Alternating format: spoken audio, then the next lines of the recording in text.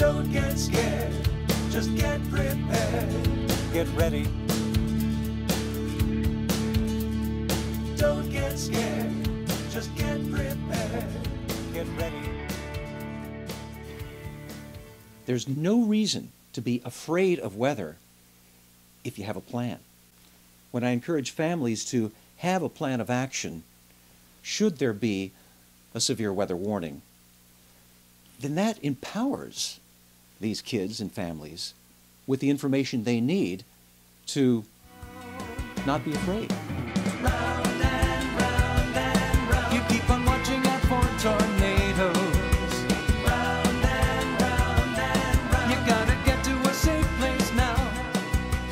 Round and round. You know, some people are afraid of the sound of thunder. well, that's just a sound.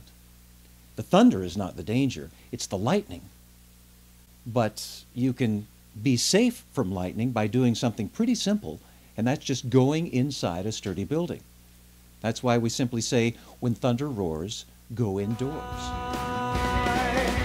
When thunder roars, go indoors. There's lightning all around.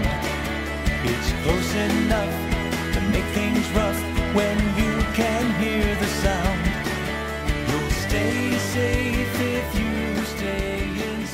You have a plan, and you don't do the opposite of the plan. You follow the plan when it happens. That's how we empower our children not to be afraid of the weather. So don't get scared, just get prepared.